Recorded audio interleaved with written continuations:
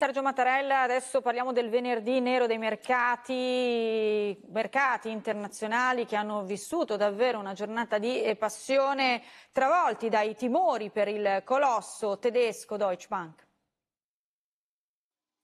Ancora aria di tempesta sulle banche e di riflesso sulle borse che hanno vissuto un nuovo venerdì di passione dopo il crack della californiana Silicon Valley Bank e il salvataggio lampo di Credit Suisse per mano di UBS, adesso a destare timori è il colosso tedesco Deutsche Bank. Si tratta di una delle 30 banche di rilevanza mondiale, la prima in Germania, e a detta del cancelliere Olaf Scholz non ci sono ragioni per mettere in dubbio il suo futuro. In 24 ore però sono letteralmente esplosi i CDS, i credit default swaps a 5 anni di Deutsche Bank, ovvero i derivati che danno la possibilità di coprirsi da un'eventuale insolvenza sul debito obbligazionario. Le azioni della banca sono state quindi oggetto di pesanti vendite, arrivando a perdere il 13% e trascinando in rosso non solo la borsa di Francoforte, ma tutto il comparto finanziario europeo. Milano ha chiuso la seduta in rosso con i titoli bancari in forte perdita per tutto il giorno, nonostante le rassicurazioni osservazioni di Christine Lagarde sulla solidità delle banche dell'Eurozona e sulla disponibilità della BCE di fornire liquidità se sarà necessario. I soldi sui conti correnti non corrono rischi, in Italia non sono possibili situazioni come quelle della banca californiana e come quella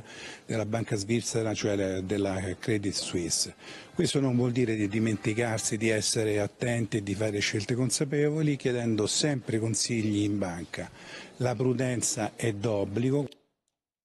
Avete sentito in apertura le conclusioni del